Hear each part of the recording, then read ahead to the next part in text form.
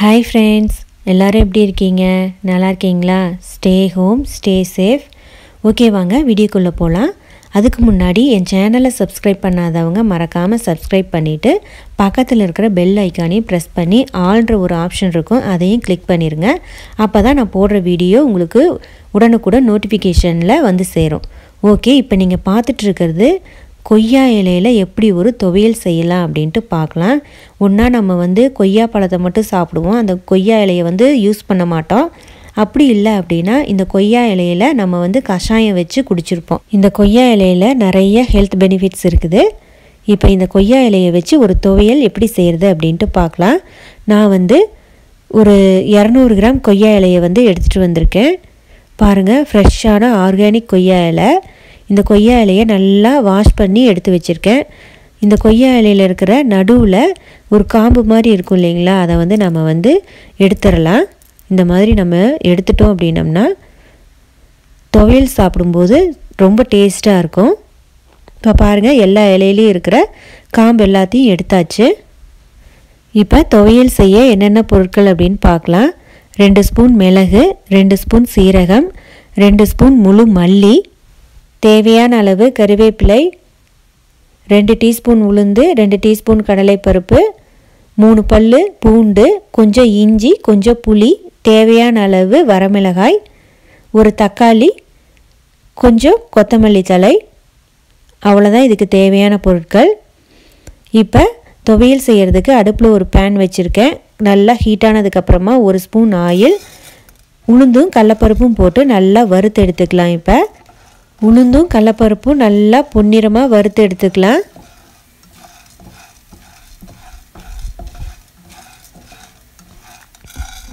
இப்போ பாருங்கள் நல்லா பொன்னிறமாக வறுத்து எடுத்தாச்சு. இதை ஒரு பிளேட்டில் மாற்றிடலாம் இப்போ அதே பேனில் சீரகமும் மிளகையும் வறுத்து எடுத்துடலாம். இது கரிஞ்சு போகாத மாதிரி வறுத்து எடுத்துக்கணும். இப்போ வரமிளகாயும் போட்டு நல்லா வறுத்து எடுத்துக்கலாம்.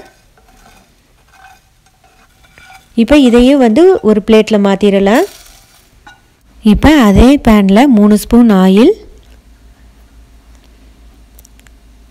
ஆயில் நல்லா சூடானதுக்கப்புறமா புளியை போட்டு நல்லா ஃப்ரை பண்ணி எடுத்துடலாம்.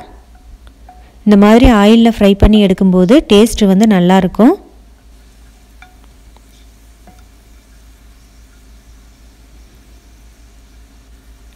இப்போ பூண்டும் இஞ்சியும் சேர்த்து நல்லா வதக்கி எடுத்துடலாம்.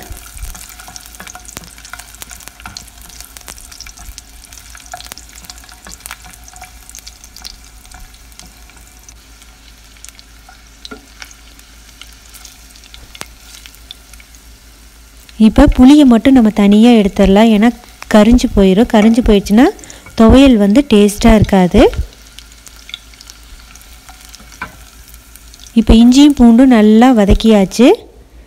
கட் பண்ணி வச்சுருக்கிற வெங்காயத்தை போட்டு நல்லா வதக்கிடலாம்.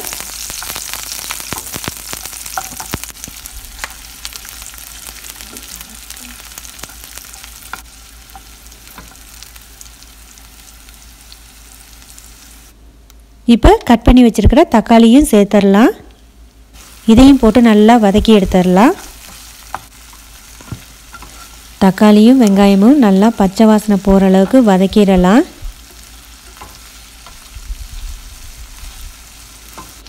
இப்போ கருவேப்பிலையும் சேர்த்து நல்லா வதக்கிடலாம்.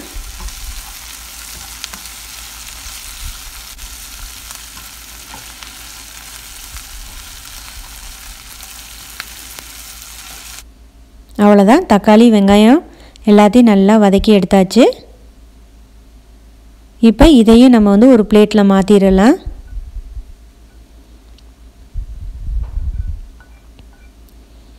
இப்போ அதே பேனில் ஒரு ஸ்பூன் ஆயில் ஊற்றிருக்கேன் நம்ம க்ளீன் பண்ணி வச்சுருக்கிற கொய்யா இலையை அதில் போட்டு நல்லா ஃப்ரை பண்ணி எடுத்துடலாம். நம்ம ஆயிலில் போட்டு ஃப்ரை பண்ணும்போது படப்படன்னு சவுண்டு வரும்.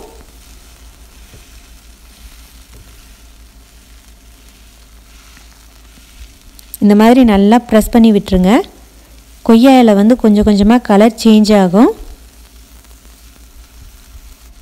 பாருங்கள் இந்த மாதிரி கொஞ்சம் கொஞ்சமாக கலர் சேஞ்ச் ஆகிட்டு வருது பாருங்கள் அவ்வளோதான் இப்போ ஃபுல்லாக கலர் சேஞ்ச் ஆகிடுச்சு நல்லா ஆயிலில் போட்டு வதக்கியாச்சுன்னு அர்த்தம். இந்த மாதிரி கலர் சேஞ்ச் ஆனால் இப்போ இதையும் நம்ம வந்து ஒரு பிளேட்டில் மாற்றிடலாம் இப்போ நம்ம வறுத்து வச்சுருக்கிற பொருட்கள் எல்லாமே வந்து ஆறிடுச்சு இதை ஒரு நம்ம மிக்சி ஜாரில் போட்டு நல்லா மையாக அரைச்சி எடுத்துகிட்டு வந்துடலாம் வாங்க.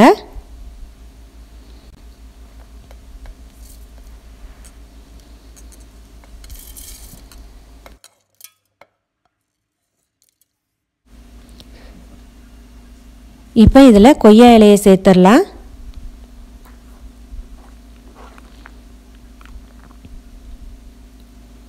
தேவையான அளவு உப்பு போட்டு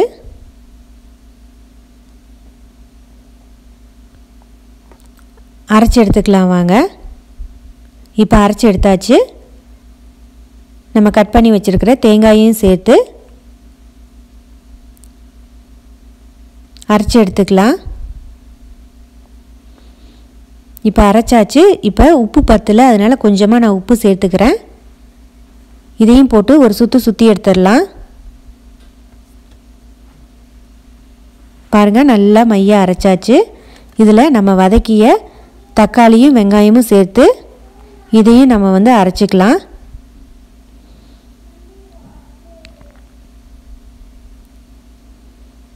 இப்போ இதையும் நல்லா அரைச்சாச்சு. நம்ம கொத்தமல்லி இலையை சேர்த்து அரைச்சி எடுத்துட்டா நம்ம துவையல் வந்து ரெடி ஆயிடுச்சு. இப்போ தாளிக்கிறதுக்கு தாளிப்பு பேன் வச்சுருக்கேன். அதில் வந்து ஆயில் ஊற்றிக்கலாம் இப்போ ஆயில் நல்லா ஹீட் ஆகிடுச்சு ஒரு ஸ்பூன் கடுகு உளுந்தம் பருப்பு போட்டு நல்லா பொரியட்டும். இப்போ தேவையான அளவு கருவேப்பிலை சேர்த்துடலாம். அதுவும் நல்லா பொரிஞ்சிருச்சு.